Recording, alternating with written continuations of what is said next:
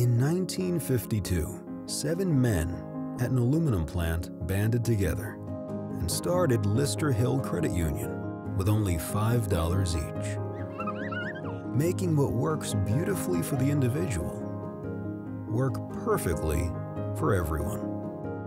Today, more than 85,000 have joined us, continuing the legacy of supporting themselves and the community through Listerhill.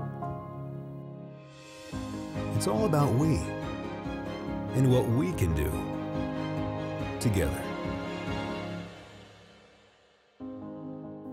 Join us.